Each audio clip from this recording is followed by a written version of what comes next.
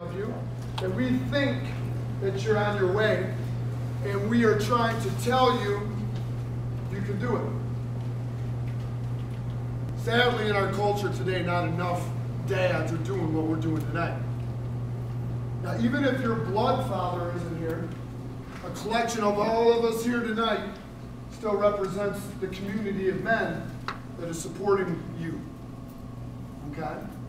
So this is something that fathers and sons have done for years and years and years and years and years and years. Okay? Because wrestling is a tough sport. And not everybody can do it.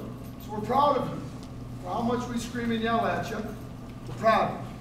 And so tonight is an opportunity for us to publicly say, you're doing an awesome job. We expect bigger and better things. And kind of welcome to the club even though it's an ongoing series. So it's kind of solemn, it's kind of ceremonial, it's kind of special. So you need to treat it that way, okay? Because we're not kids anymore. And if you want to be treated like young men and given those rights and responsibilities, you got to accept and how to act, right? In the Bible it says, when I was a boy, a child, I acted like a child. But when I became a man, I gave up my childish ways.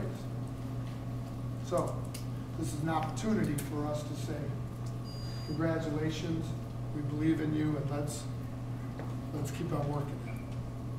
Okay? That make sense? All right, we're gonna start with the junior high first.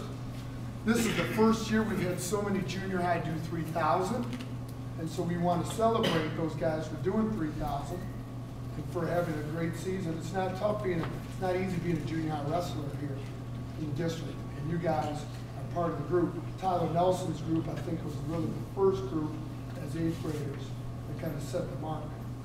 And last year's group was Mike Jones and other from uh, you guys. Right, so we want to celebrate